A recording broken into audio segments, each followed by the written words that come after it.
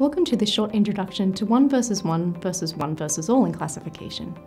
In classification models, you often want to predict one class from the other, such as predicting apples from bananas. This is binary classification, where one class is the positive class and the other class is the negative class.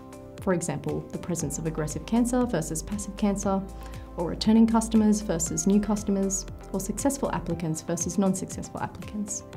Here we have our classic one versus one classification, you simply predict one class from another class, or one versus one.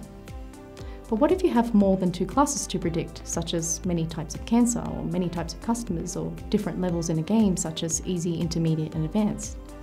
Many classification algorithms are limited to binary classification, where it only allows one versus one class prediction.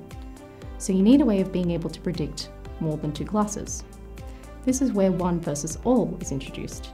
It treats one of multiple classes, such as easy level in a game, and predicts against all other classes, such as intermediate and advanced level in a game. This means the easy class is treated as the positive class, and all other classes, intermediate and advanced, are treated as the negative class, effectively turning this into a binary two-class classification.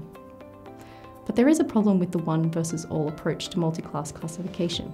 You often have an imbalance in the number of examples or subjects in one class versus all the other classes. For example, if you have 100 easy level subjects, 100 intermediate level subjects, and 100 advanced level subjects, a one versus all approach says that you now have only 100 easy level subjects versus 200, double the amount of all other subjects. When there are less examples for a model to train on, the model usually doesn't predict as well on those examples. If you feed your model a ton of examples from one class and a very small number of examples of the other class, well, guess what? It's not going to predict well on the other class. So we go back to one versus one again. It might be better to do predictions on pairs of combinations of classes. So easy versus intermediate and intermediate versus advanced and advanced versus easy.